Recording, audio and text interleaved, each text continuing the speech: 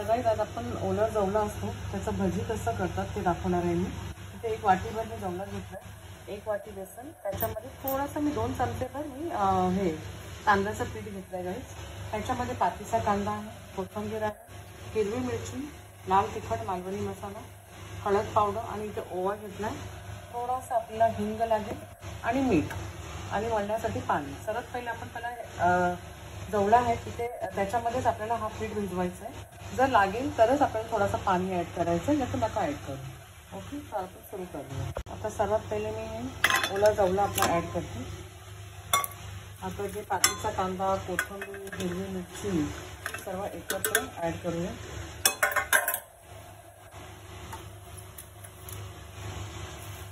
लाल तिखट हळद पावडर आणि ओवा थोडासा हिंग आणि मीठ.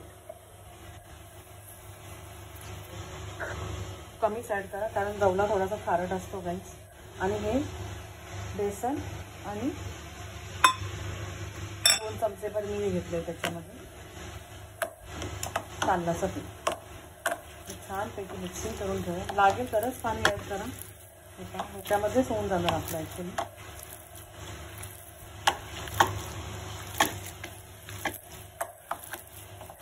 छान लागतो ना गाईज हा भा हा हा पकोडे किंवा ही भजी एक स्टार्टर म्हणून पण तुम्ही बनवू शकता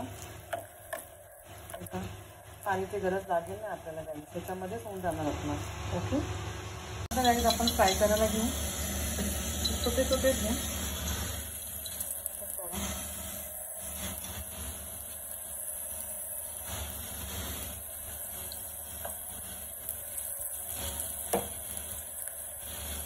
घ्या फ्राय करताना कारण की मग हा परत तेल तुम्ही दुसरी काय भजी वगैरे करायची असेल तर हा मच्छीचा वास त्याच्यामध्ये जाणार जाईल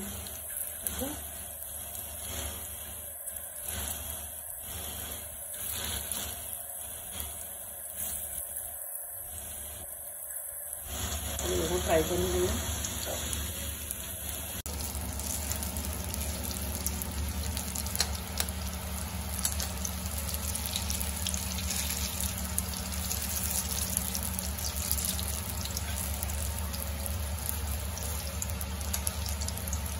आणि गॅस थोडासा स्लोच ठेवा जाईल एकदम फास्ट गॅसवरती बनवू नका हे जलू शकता तो एकदम कमी मिडियम गॅस किंवा स्लो गॅस ठेवा आता हे पहा, किती छान मग एकदम कुरकुरीत झाले गाईस एक नंबर लागतो खायला आणि कांदी म्हणजे पातीचा कांदा तुम्ही नक्की ॲड करा। त्याच्याने कसं एक फ्लेवर खूप छान उतरतो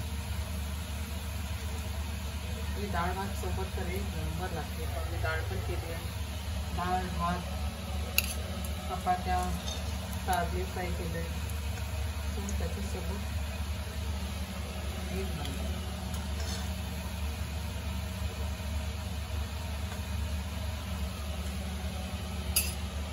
पहा गाईस आता आपली ओल्या जवल्याची भजी रेडी झाली आहे खाण्यासाठी.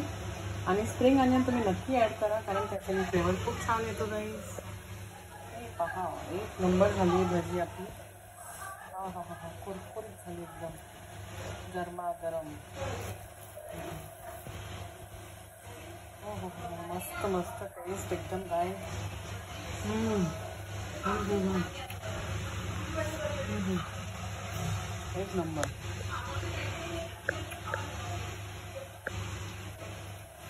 and please like share and subscribe my channel guys. Thank you